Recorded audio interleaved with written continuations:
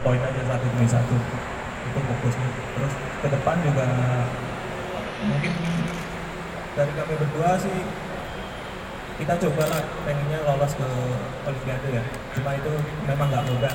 Persaingan ketat sekarang cuma ya kita pasti berusaha Oke, pertanyaan ketiga.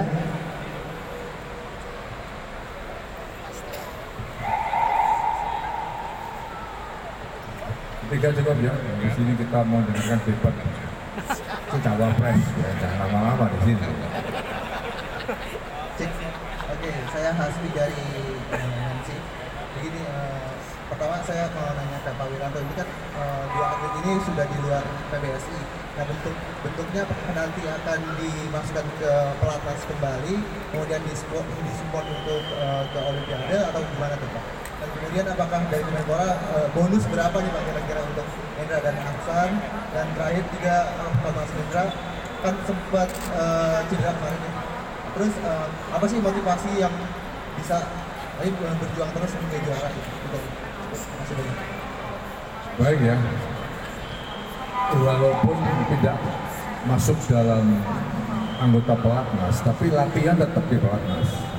Jadi kita membuka kesempatan kepada semua atlet yang masih berkhidmat untuk bersama-sama berlatih di pelatnas. Hanya memang di pelatnas kan ada persyaratan-persyaratannya, ya. Dan itu tentu ada satu persyaratan khusus. Nah, soal kemudian nanti bagaimana, tentunya nanti akan ada satu pertimbangan-pertimbangan tertentu. Tapi berlatih di pelatnas tetap harus. Dan saudara Indra dan Aksan ini memang terus ya, liga ke liga ya, terus uh, akan mengikuti dalam rangka uh, masih uh, mempertahankan prestasi uh, dalam tangkisan. ya. Nah berikutnya tentang uh, uh, bagaimana fulus, ya, bonus itu rahasia perusahaan. Nanti kita dengan Menpora akan bicara soal itu. Ya, baik. Terima kasih. Cukup ya? Oh satu lagi. Satu lagi terakhir dari detik. Cewek belum cewek tadi ya. Ya.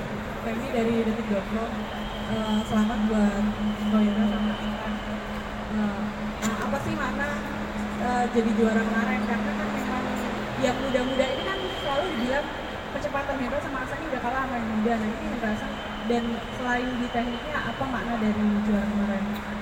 Terus yang kedua buat PBSI PBSI ini walaupun dapat juara sama-sama dari Indonesia tapi apa pun akan orang akan melihat situasi bukan batas. Dan itu karena Hasan masih punya ambisi untuk Olimpik pertarungan untuk dapat slot di Olimpik nanti seperti apa nih Terima kasih. Eh, jadi PBSI kan mempunyai satu target-target tertentu. Pemain juga punya.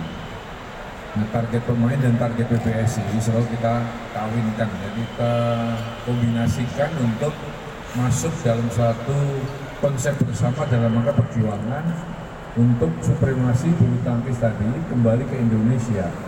Jadi target kita sebenarnya target besar bahwa supremasi bulu tangkis dunia akan kembali ke Indonesia seperti tahun-tahun 50-an, tahun 60-an itu kan. Setiap penampilan kita dalam event internasional ditakuti, disegani. Nah sekarang ini kelihatannya sudah mengarah ke sana. Setiap penampilan atlet kita dalam event-event internasional sudah diperhitungkan betul oleh lawannya. Bahkan ya, beberapa event saya melihat bahwa pemain-pemain kita sudah menjadi idola ya, dari perbulu tangkisan dunia. Oleh karena itu kembali tadi rencana-rencana PBSI akan terus berlanjut ya, sehingga eh, kembali tadi eh, cita-cita, harapan, keinginan kita untuk kembali ya, supremasi bulu tangkis dunia ada di Indonesia ini bukan mustahil ya walaupun per- perjuangan dan persaingan sangat ketat sekali. Yang itu dari saya. Terima kasih. Selanjutnya monggo Hasan terkait dengan pertanyaan itu maknanya. Yang tadi kayaknya tidak hanya teknik seperti apa sih yang untuk junior itu.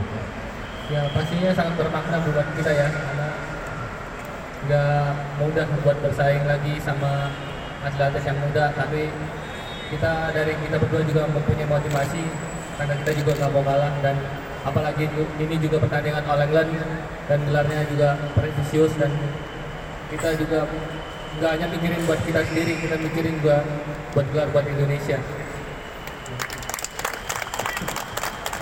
Oke, cukup khusus untuk pertanyaan bonus di hall dulu ya karena setelah ini akan ada simbolis simbolis penyerahan bonus dari Kemenpora kepada Hasan dan Hendra.